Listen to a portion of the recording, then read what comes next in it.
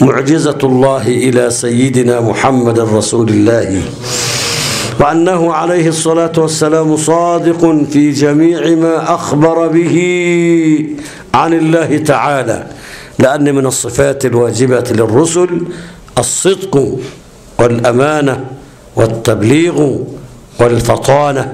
يا أيها الرسول بلغ ما أنزل إليك من ربك وإن لم تفعل فما بلغت رسالته والله يعصمك من الناس. وحينما أخبرك أن هناك صراطا وميزانا وحوضا لا بد أن تعتقد صدقه أي صدق النبي فيما أخبرك به من هذه الأشياء التي تسمى في علم التوحيد بالسمعيات. اسمعوا الشيخ أحمد يا ولاد. تعالوا هنا أنت يا ابني تعال هنا. ربع القاع. تعال املأوا الأماكن الأمامية حتى توجدوا أمكنة لإخوانكم الذين لا أمكنة لهم. تحرك يا ولدي. تحرك بسرعة. مش نص ساعة لما تتحرك. بسرعة. شيل ولد شيل الجثة يلا. الله يفتح عليكم. يلا أيوك عشان ندفي بعض الدنيا برد. تعال هنا بسرعة. يا أيها الذين آمنوا إذا قيل لكم تفسحوا في المجالس فافسحوا. لما تفسحوا لغيركم يعمل إيه؟ يفسح الله لكم. ولما تضيق على غيرك الله يضيق عليك. فالجزاء من جنس العمل. شنو يا شيخ أحمد؟ ها خلاص الأماكن بقدر الإمكان آه، أن نأتي الورى يأتي إلى الأمام في أماكن لا تزال شاغرة عندي هنا وأريد شغلها وملأها حتى نترك مكانا للقادمين وإن كان المتأخرون لا يستحقون منا ذلك. إنما زي بعضه إنما زي بعض نعاملهم بالفضل وليس بالعدل. المتأخرون لا يستحقون أن نفسح لهم. مش كده شيخ أحمد؟ إنما خلاها علينا إحنا وربنا هو اللي بيكافئ. وأدعو الله لهم أن يهديهم وأن يأتوا مبكرين. وأنه عليه الصلاة والسلام صادق في جميع ما أخبر به عن الله تعالى من الصراط والميزان والحوض. والوزن يومئذ الحق. ده في القرآن يا ولدي؟ الصراط فاستبقوا وفي سورة ياسين فاستبقوا الصراط فأنا يبصرون. الصراط والميزان والحوض. والحوض إنا أعطيناك الكوثر. حوض الكوثر نهر الكوثر. معطى لمين لسيدنا النبي؟ مين اللي أعطاه الله ولم يعطيه لنبي سواه. فصل لربك وانحر إن شانئك هو الأبتر. الحوض وغير ذلك من وعذاب القبر ونعيم القبر. النار يعرضون عليها غدوا وعشيا. ويوم تقوم الساعة أدخلوا آل فرعون أشد العذاب.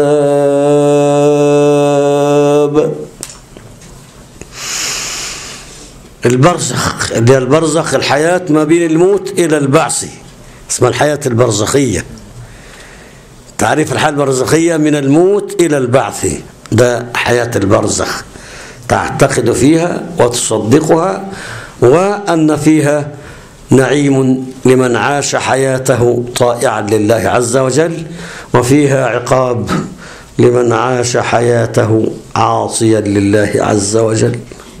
ومن سؤال الملكين وعذاب القبر ونعيمه أظنكم تعلمون أن سيدنا النبي بعدما صلوا عليه يا أولاد مر على قبرين فقال إنهما يعذبان.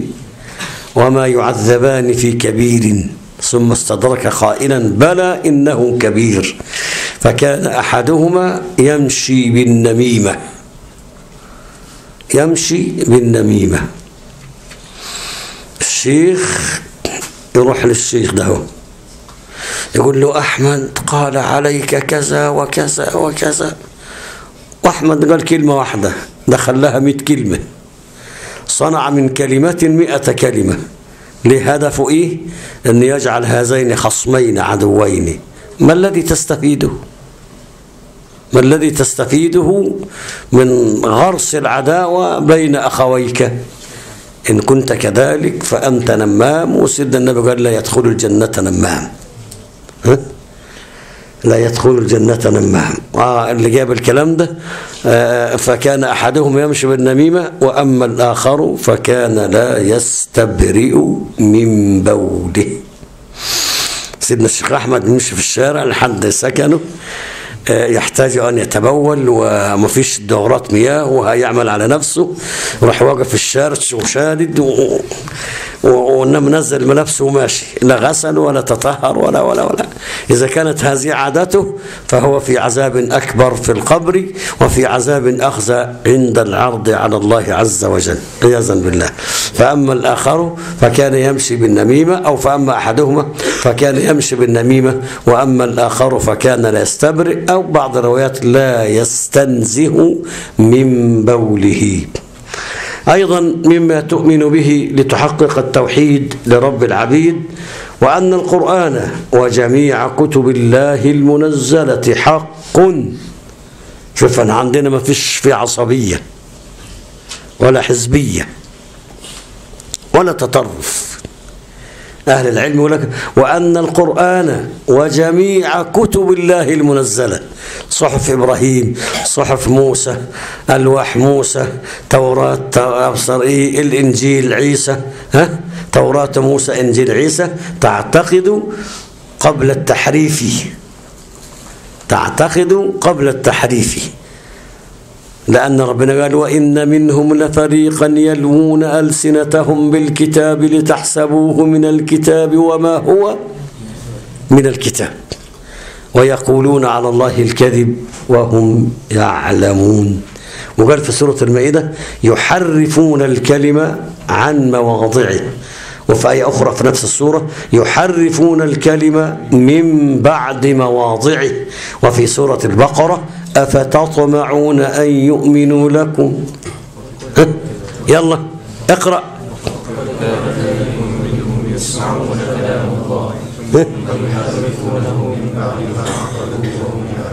الشاهد يحرفون فأنت تعتقد أن الكتب دي قبل التحريف منزلة من عند مين؟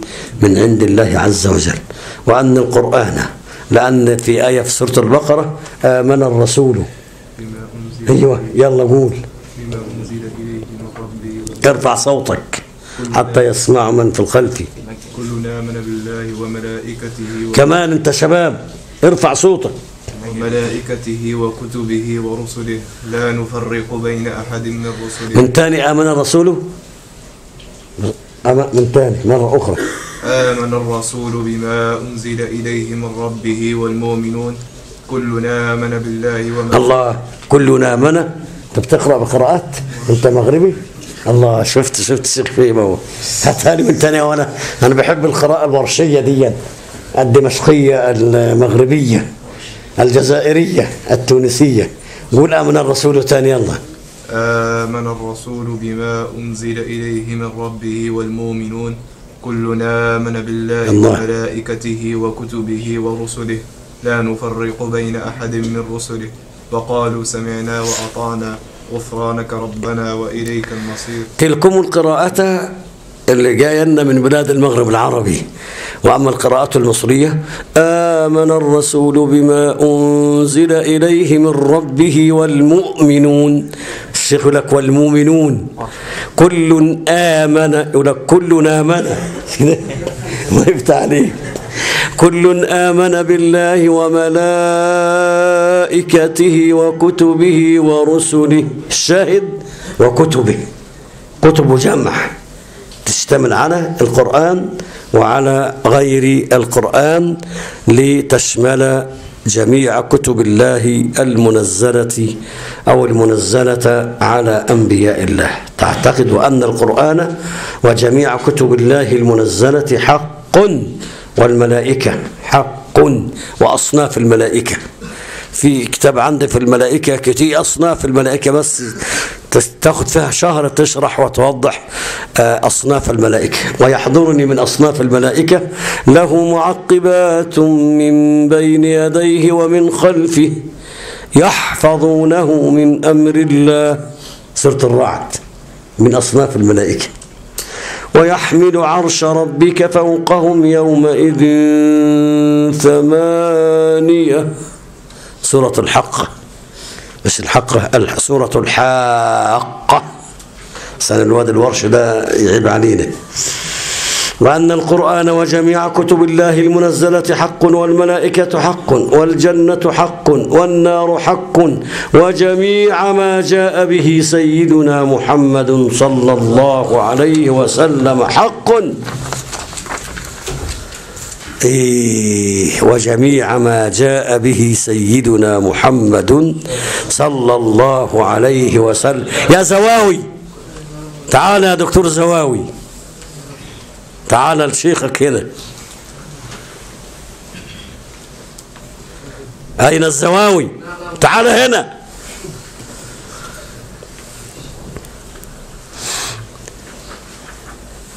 الله ده حبيبي. أنا كنت مناقشك في الماجستير. نعم. قوم اقف. أخوكم الدكتور عقبالكم الدكتور زواوي. ناقشته في الماجستير وأشرفت عليه في الدكتوراه. وحصل على الدكتوراه من كلية الشريعة بمرتبة الشرف الأولى.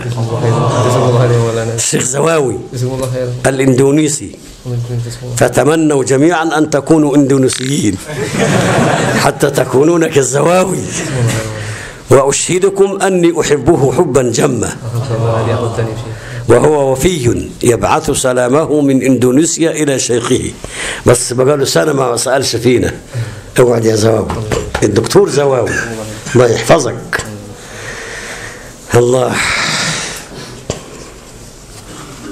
إحنا بنقرأ يا دكتور زواوي الرسالة الجامعة والتذكرة النافعة. خد اقرأ شوية ده تلميذ وأنا شيخه. اقرأ شوية. إحنا خلصنا المقدمة اللي خاصة بعلم التوحيد وعلم العقيدة.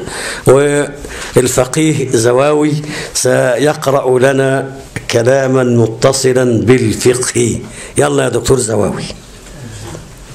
هات له خد يا عم الدكتور زواوي أحسن أنت زحلت صوتك ضعيف ونحيف فخد السماعة. خد يا زواوي. يلا يا مولانا الشيخ زواوي.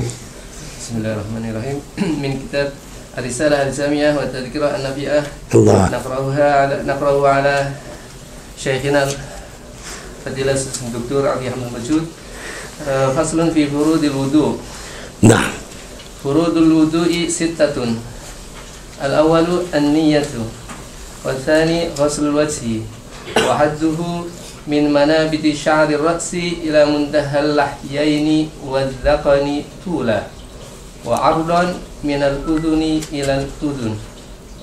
الثالث غسل اليدين إلى المرفقين. الرابع مس شيء من بشرة الرأس أو شعر أو شعر في حده. الخامس في حده يعني حد الرأس. إنما الشعر إذا طالت واسترسلت ونزلت عن حد الرأس لا تغسلها لا تقتصر على غسلها. إن اقتصرت على غسلها كان وضوء باطل إن أردت أن تغسلها يبقى تغسل معها غيرها اللي هي في حد الرأس. هذه معنى في حده الضمير في حده يعود على الرأس. قول يا يا حبيبي زهري. الخامس غسل الرجلين مع الكعبين. السادس الترتيب على هذه الكيفية. لو قلت لتلميذي وهو الآن أصبح زميلي الشيخ زواوي كان تلميذ إنما بقى زميلي الآن. الله. لو قلت لتلميذ الشيخ زواوي اشرح ما قرأت في خمس دقائق. فماذا فماذا أنت قائل يا حبيبي زواوي؟ يلا. يلا يا حبيبي زواوي.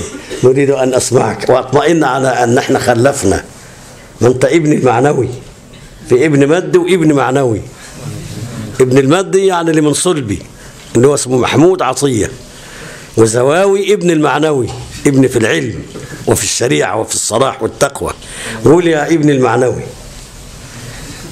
ده موقف صعب عليك شوية. انت مش انت أستاذ هناك في اندونيسيا وبتشرح للطلبة؟ أيوه هو ده يا طالب اشرح لهم ماذا تقول لهم؟ تسكت؟ لا مش عاوزك تسكت. يلا اتفضل بسم الله الرحمن الرحيم. آه المؤلف يتكلم الله. عن أركان الوضوء أو فروض الوضوء. نعم. وهذه الأركان هي ستة. آه، الركن الأول هي الركن الأول هو النية. آه، النية إمالا لقول رس- آه، إمالا لقول رسول صلى الله عليه وسلم إنما الأعمال بالنيات وإنما الله، جدع. نعم. كل امرئ ما نوى من نعم. كانت هجرته إلى الله ورسوله وهجرته إلى الله ورسوله ومن كانت هجرته لدنيا أو يصيبها أو امرأة ينكحها فهجرته إلى ما هجر إليه طيب النية يا دكتور الزواوي عند جميع أهل العلم لازمة لصحة الوضوء أم أنها عند قوم هي أمر مسنون؟ آه نعم. أي والله قول. آه، آه، هي آه، ركن عند جمهور العلماء. أيوة. لأن ال- إنما الأعمال أي إنما صحة الأعمال. أي الله يفتح عليك. و- ده وذهب امتحان صعب مش عليك. أخوكم الدكتور زواوي بيقول عند جمهور أهل العلماء الحديث تقديره إنما صحة الأعمال بالنيات. وعند من لم يجعل النية فرضا يصير تقدير الحديث الذي استدل به إنما كمال الأعمال بالنيات لو سئلت عن وقت النية وتعريف النية ماذا تقول؟ أيوة. القصد نعم. شرعا قصد التقرب إلى الله عز وجل. طيب وخليها قصد التقرب دي خليها في إندونيسيا. آه. إنما الفقه عندنا قصد الشيء مقترنا بفعله. مش أنت درست كده يا سيد زوج النية لغة القصد وشرعا قصد الشيء مقترنا بفعله. لو سئلت مرة أخرى يلا عشان نستفيد وتريح شيخك شوية. ما وقت النية في الوضوء؟ صح؟ نعم. يلا. آه، ما وقت النية في الوضوء؟ آه، آه، أما وقت النية؟ لو لم تجب هسحب منك دكتور دكتوراه تاني. وتيجي عندنا الشريعة وتعمل دكتوراه من جديد. قول يا دكتور زواوي ما وقت النية في الوضوء؟ آه، أما بالنسبة لوقت النية نعم. آه، في الوضوء هو عند غسل الوجه. لأنه آه، الركن عند غسل الوجه دي عبارة فضفاضة ليه آه، صح يا شوف شوف خليك منتبه يا شيخ. عبارة فضفاضة ليه لأن ممكن ما ينويش في أول الوجه وينوي في منتصفه أو في آخره. وإذا نوى في منتصفه أو في آخره صدق عليه أنه نوى عند غسل الوجه. يبقى عبارتك ما هياش دقيقة. يبقى تقول النية تكون عند أول جزء يغسل من الوجه. صح كده؟ النية خد أشرح لكم في أندونيسيا. النية تكون عند غسل أول جزء من الوجه. ثم إن أردت أن تتعمق أكثر تقول وقت النية وقتان وقت وجوبي ووقت مسنون. الوقت المسنون عند المضمضة والاستنشاق. والوقت الوجوبي عند غسل أول جزء من الوجه. ماشي كده؟ يلا هات اللي بعده بسرعة. اللي النية وغسل الوجه. أيوه حد الوجه طول قال لك منين كده؟ يشرح لنا. أنت قرأت. اشرح لما قرأت في غسل الوجه. أمم. آه، الركن الثاني هو غسل الوجه. وحد الوجه من منابت شعر الرأس. أنت تقرأ ولا تشرح؟ أيوة. الاثنين. اتفضل. يعني مناب- منابت الشعر آه، يبدأ من هنا. انت عندك من هنا؟ أيوة. ارجع كده الطبيعي إلى الآن. الله ده انت عندك من هنا. أمال أنا عندي ارجع ارجع ما فيش شوف فين؟ هنا. يبقى أغسل الوجه من هنا عشان زاوي ده دي لها عرس في الفقه. أيوة. يلا عالجها في الفقه. انت كلامك صح بالنسبة لك. أي نعم. حينما كشفنا عن شعرك وجدناه معتادا. منبته عند الإنسان المعتاد. حينما كشف الشيخ عن رأسه وجد الرأس ال- هنا أولها هنا وآخرها في إندونيسيا. يلا قول ما كيف آه، هل الشيخ يكون وجهه بقى الوجه هذا زائد المكشوف من الرأس كله ولا إيه اللفظة الفقهية التي تعالج ذلك؟ الله يعني تسمع؟ يلا يا شيخ زواوي الشعر رأس آه، رأس الشعر آه، على آه، على المعتاد يعني. يلا غالبا. غالبا. أنت درست في الفقه قال منبت شعر الرأس غالبا. يعني الموضع الذي ينبت فيه الشعر عند غالب الناس عند معظم الناس وليس عند ال- ال- ال- النادر من الناس. وإن كان أنا مش نادر ده فيك الناس كتير كالشيخي فيما أنا لست نادرا. أن إحنا الآن أصبحنا قاعدة يا شيخ زواوي كده؟ طيب. يبقى إذا ده حد الوجه طولا من أعلى اللي هو منبت شعر الرأس غالبا ومن أسفل. إلى منتهى اللحيين هل إيه ما ما هما اللحيان؟ آه، أيوة. ال- اللحيان هما العظمان اللذان تنبت عليهما الأسنان السفلى. صح. اللحيان العظمان اللذان تنبت عليهما الأسنان السفلى. عندك عظم أيمن أهو تحت. وعندك عظم أيمن آه، أيسر تحت. هذان العظمان اسمهما والعظم ده عليه أسنان والعظم ده عليه أسنان. هذان العظمان اسمهم الايه اللحيان. اللحيان. العظمان ال- الأسفل يلتقيان. النقطة اللي فيها يلتقيان يا زواوي اسمها الذقن. اسمها الايه؟ نعم. النقطة دي نقطة الالتقاء بين اللحيين. هذه النقطة هي بيبدأ اللحي الأيمن وهذه النقطة هنا يبدأ اللحي الإيه؟ الأيسر. النقطة هذه التي يلتقي عندها اللحيان تسمى الذقن. يبقى الذقن هي مجمع اللحيين. تعرف في سورة الكهف مجمع البحرين؟ أيوه. لا مجمع البحرين أنت هتعرف قرآن يا زاوي مجمع البحرين يلتقيان. يا- يا- لا ده هي مرج البحرين يلتقيان مش مجمع البحرين يلتقيان. أنا قلت أصحاب الدكتوراه ما أنت راضي مم. مجمع البحرين أو أمضي حكمه في سورة الكهف. يقول يا زاوي يلا خلاص إحنا عرفنا حد الوجه طولا وحده عرضا. وحسب عرضا من الأذن إلى الأذن يعني من آه، هذه ال- طب إيه، واحد له أذن واحدة يبقى أنت بتقول من الأذن للاذن من الأذن آه، على الجهة آه، من جهة اليمين الأذن. أيوه أنت وأنا لك أذنين. ممكن تلاقي واحد له أذن واحدة فما تنتهي وجهه في في الجزء المقابل اللي ما فيش أذن. يعني على الحد المعتاد. اي شوف شفت السؤال الذكي يبقى آه، وعرضا ما بين الأذنين. أنا افت- اقترحت أو افترضت إن واحد مقطوع الأذن. وله أذن واحدة. و- طب إحنا الأذن اللي عرفنا نحدد ال- ال- الجزء اللي فيه أذن. طب الجزء اللي مش اللي ما فيش فيه أذن.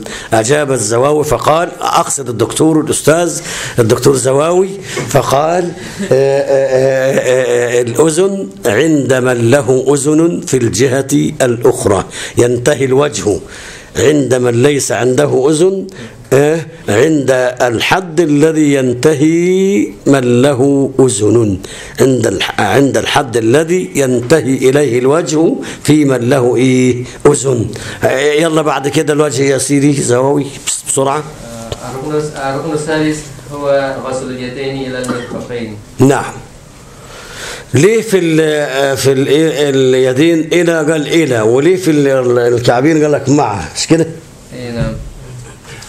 ليه يعني اقرأ تاني على أخوانك عشان بس يعرفوا السؤال. هات الفرد الثالث. ال- الركن الثالث الفرد الثالث آه، غسل اليدين إلى المرفقين هنا قال غسل اليدين إلى. ولما جه يتكلم عن غسل الرجلين اقرأ. آه، الخامس غسل الرجلين مع الكعبين. ليه قال هنا إلى الرجلين وقال هنا مع الكعبين؟ صح كده؟ آه. لماذا؟ حد يعرف مع ها؟ مع طب يعني إيه عاوز تجاوب تقول إيه يعني؟ يعني أنا عاوز أقول يا شيخ زواوي هنا من باب التنويع في الأسلوب وإلا فالمعنى واحد. المعنى إيه؟ واحد. آه، معناها آه، إلى اللي هي في اليدين معناها مع اللي في الكعبين. الرجلين مع الكعبين. فهنا إلى بمعنى مع. ويمكن أن يقال إنه اتبع الطريقة النادرة. إيه الطريقة النادرة؟ إن أنت خدت يا زواف في اللغة العربية يحذف من الثاني لدلالة الأول عليه. وقد يحذف من الأول لدلالة الثاني عليه. فقياسا على هذا الثاني فسر الأول. إنما كان الغالب إن الأول بيفسر الإيه؟ إن الأول يفسر الثاني فهو كلام صحيح لأنه اتبع الأسلوب الآخر في اللغة العربية. يبقى إذن كلام صحيح. ونمرة اثنين أنه قال ذلك من باب التنويع والتغيير في الأسلوب وليس التغيير في المعنى.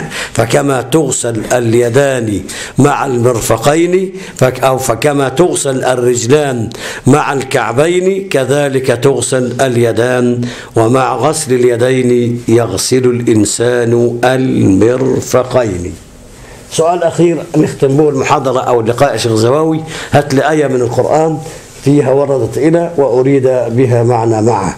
سهلة دي. قل. آية من القرآن ذكرت فيها كلمة إلى ولم يراد ولم يرد بها إلى الانتهائية وإنما أريد بها إلى بمعنى مع. في آيات كثيرة أنا عاوز آية واحدة بس من الشيخ زواوي أنا أكتب خطاب للجامعة بتاعتك توقفك عن العمل لو ما جبتش الآية. يلا شيخ زواوي الله. آمنوا هو الشيخ زواوي بيقول لي يا ريتني ما حضرت درس الشيخ كان زمان يعض أصابع الندم الآن ما رجلاي أتت بي إلى هذا المكان لماذا؟ يقول يا زواوي يا أيها الذين إذا تداينتم بدين لا لا لا لا لا لا أنتم إيه ما أنت اللي أنت اللي مدين لي بدين كبير. بدين معنوي كبير. يلا يا شيخ زواوي يا أيها الذين آمنوا إذا إذا قمتم إلى الصلاة فاغسلوا وجوهكم و- إيه- إيه- إذا كنتم إلى يعني إذا كنتم مع الصلاة من قال بذلك. لم يقل به إلا الشيخ زواوي وأيديكم- وأيديكم إلى المرافق يعني. أيوة. لا. يا سيدي ما دي إلى في غير إلى المرافق في القرآن. آه غير غير. غيرها غير إلى المرافق. وردت إلى بمعنى مع يلا يا سيدنا الشيخ زواوي. شوف يا ولاد ده مش تعجيز لشيخ زواوي ده معناه إيه؟ إيه خد الدرس والعزة يا زواوي زواوي الآن بيدرس في الجامعة فهو مرتبط بمنهج. المنهج ده يحصره في منطقة معينة. اسمعني. لكن اللي يساعده على الإجابة لو أنه عمل دروسا في إندونيسيا واستدعي في اللقاءات العلمية خارج الجامعة وأجبر على قراءة الفقه من أوله. يقوم يستحضر المعلومات البدائية أو المعلومات الأولى. فهمتني شيخ زواوي فهو ليس ليس يعني هو عالم لكنه حصر نفسه في المنهج وخلاص يحضر الدرس ويروح يلقيه على الطلاب الإندونيسيين يقول آه ده الأستاذ ده عالم عالم كبير. وبعدين يجي الأستاذ يختبر في بدايات الفقه ما يعرفش. ليه؟ لأنه لم يقرأها منذ أن حصل على الدكتوراه. يبقى وسيدنا النبي قال أه إحياء العلم مدارسته. شفت الفايدة أن الواحد ما يحصرش نفسه في خندق الجامعة. الأستاذ لا يحصر نفسه في خندق الجامعة وإنما يروح هنا وهنا وهنا. فهي منفعة للأستاذ قبل أن تكون منفعة للطلاب. تذكر الأستاذ بالعلم ها؟ إحياء العلم يا زوا خد اعمل الكلام ده ونفذه ما تروح هناك وأنا أتصل عليك أقول لك دروسك فين؟ عشان أجي أحضرها خارج الجامعة. م، إحياء العلم مدارسته. إيه السؤال اللي كنت بسأله لك؟ يا أيها الذين آمنوا كونوا أنصار الله كما قال عيسى ابن مريم للحواريين. افتكرتها أنت الآن. من أنصاري إلى. من أنصار إلى يعني من أنصاري مع فوردت هنا هنا إلى بمعنى مع أيضا قلت لكم في أكثر من لقاء ولا تأكلوا أموالهم إلى أموالكم. يعني لا تأكلوا أموالهم مع أموالكم. في سورة هود يا شيخ زواوي. ويزيدكم قوة إلى قوتكم يعني مع قوتكم. ولا تتولوا مجرمين. وأنا سعيد بحضور الدكتور زواوي درس شيخي وأشكر الله أن ساقه إلينا وتواضع وحضر آه، جزءا بسيطا جدا لكن الجزء البسيط الذي حضره يساوي عندي محاضرات شهر لكم. وب... انت تكون موجود يوم السبت القادم؟ إن شاء الله. تحضر من قبل هنا. انت تجاوزت على الغياب اللي انت ما جبتوش. تحضر قبل هنا علشان نحضر الدرس من أوله ونستفيد معا. وأستودع الله دينكم وأمانتكم وخواتيم أعمالكم. والسلام عليكم ورحمة الله وبركاته. تفاتك خير كثير في درس العقيدة والتوحيد. لكن الله المستعان. يلا يا أولاد يا حبايبي اتفضلوا. هات يا أحمد شوف البتاع اللي عندك اتشحن. الله